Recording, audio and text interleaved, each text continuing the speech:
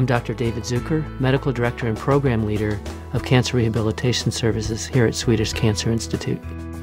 As a rehabilitation physician subspecializing in oncology, my job and my passion is to support people living well while they're living with cancer. Two of the most common side effects from cancer treatment are fatigue and the inability to participate in everyday activity as one would like to do.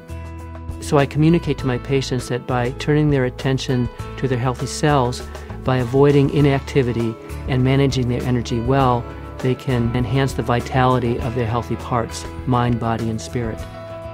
It may be surprising to learn that the same principles of training, exercise physiology, apply to a person who's living with cancer as they do to an athlete.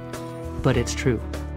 When people begin to experience the benefits, the physical, emotional, psychological benefits of training during or after treatment, it motivates them to go forward, improves their attitude, helps with sleep, minimizes side effects, and when a person is on treatment, it helps them tolerate treatment better.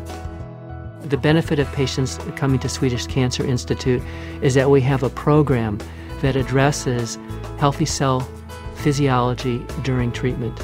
It gives patients an opportunity to live well while living with cancer, despite all the difficulties and the challenges that come inevitably with a cancer diagnosis.